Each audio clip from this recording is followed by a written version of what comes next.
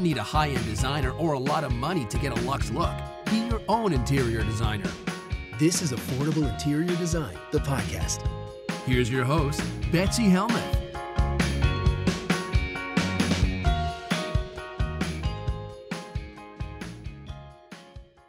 Next question comes from Stephanie, and Stephanie is writing in from Nashville. All right, Stephanie writes, I am Playroom Puzzled. Hi, Betsy. I enjoy your podcast so much and have learned so many things along the way. My family and I just moved into our potential forever home, and we are excited to get settled in. But decorating with confidence is not one of my strong suits. Our playroom is downstairs and open to the kitchen, living room, and dining room. It's perfect so my wild toddler can play while I work in the kitchen. But it also means I want for it to look polished. So storage cubes, baskets will be good for us. My question is on which wall should I put the storage cabinet bench that I think will help us functionally and with the aesthetics? I've attached a picture of an idea I found from Pinterest using the IKEA Kallax storage cubbies for those of you who don't know the IKEA name, the Kallax storage cubbies are like the square cubbies that come in lots of different configurations. You can lay them on their side, you can put them up vertically, and they do make a good bench height. They're also a really good bookcase. They've been around for since before I was a designer, which is 17 years. And so I know you know the ones I'm talking about and Stephanie's referring to, even if you don't know the name. The room has a large window on the wall that you face when you look into the room, so it's a very nice focal point. Do I have to try and fit the cabinets on the window wall so that we only have one focal point?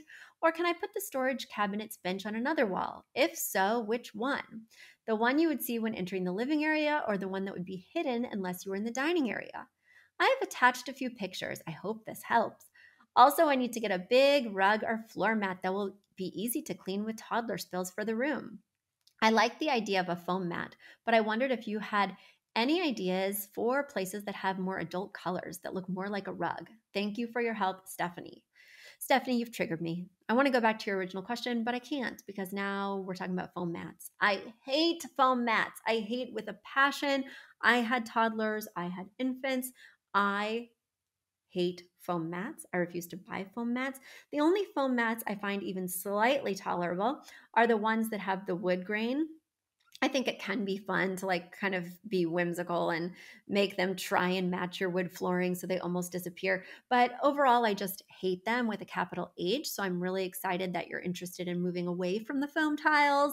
I'm just going to answer this quick and easy question first because the other one's quite complicated and let you know that I love floor tiles. So, floor tiles are those square carpet pieces that come in lots of colors, shapes, textures um, so many patterns, so many price points, and they stick to themselves with these kind of industrial tacky stickers. They don't stick to your floor, so you can peel them up very easily. My kids spilled bubble bath on one. My friend spilled a bottle of wine on one. All of these are things that are not going to easily come out, but the floor tile itself easily comes out. So I just literally cut it out and I kept extra in my closet and I plopped a new one right in the hole and we were good to go. I highly recommend checking that out. They fit a variety of styles and budgets, and they're just so practical for people with kids, people with pets, or people with friends who spill like mine. I also spill, by the way. I also spill. It was just not me that time.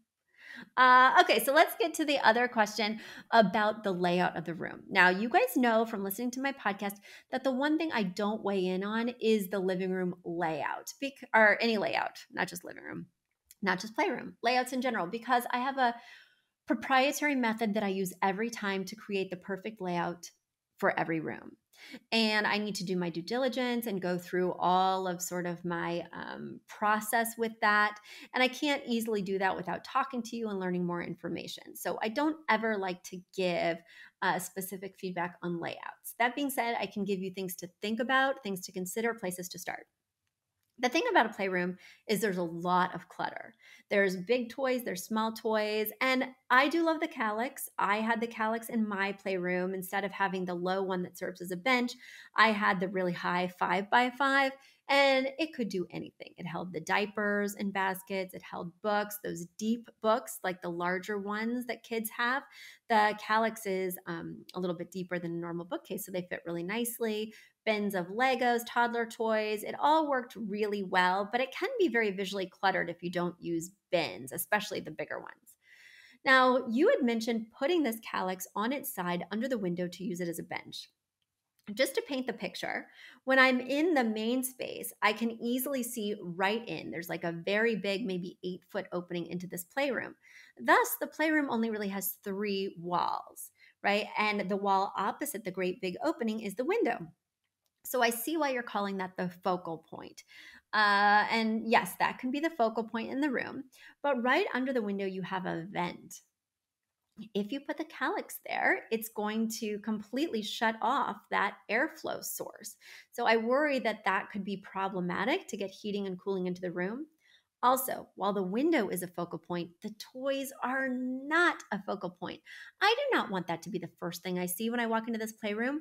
I would much rather you flank this window with a beautiful, fun, playful, patterned drapes and then put the storage on the sides. So it's kind of what I see in my periphery, but not what I see in my main glimpse as I'm walking by.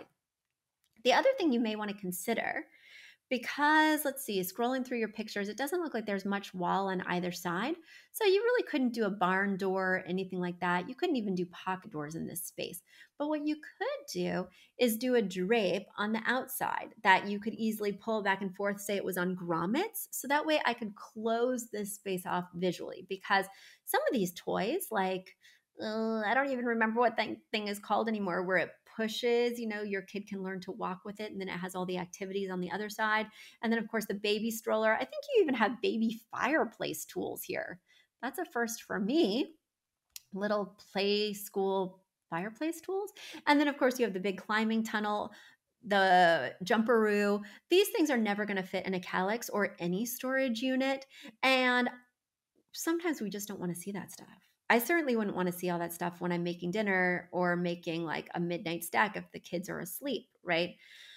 I think drapes would be a very nice thing to install even on this side. And I would want them to maybe coordinate with the drapes you find inside. And of course, they're going to have to coordinate with the main area's decor to make everything feel very cohesive. I don't think that the Kallax is a misstep. It just bothers me that it doesn't have doors.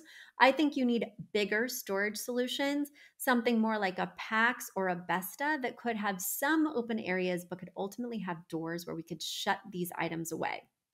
Kids' toys are all these very vibrant colors typically your main living area is not going to be that vibrant.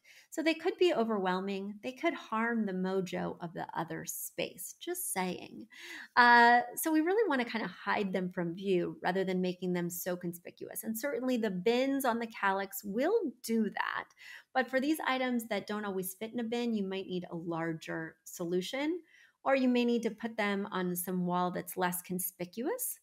Uh, so that way you're kind of keeping a more calm view, even though there's a lot of chaos going on. Well, I hope that helped to answer your questions. A big thank you to Aton and the Embassy who wrote our theme song. A shout out to Catherine Heller who owns the podcast shop and is our editor extraordinaire. We also want to thank Ginny Sunasan and her team at the Savvy Podcast Agency for their help with our social, our YouTube channel, and so much more. We also want to thank Uploft, which is our parent company who supports this podcast. And lastly, we owe a huge debt of gratitude to you. Thank you so much for tuning in and for all your support.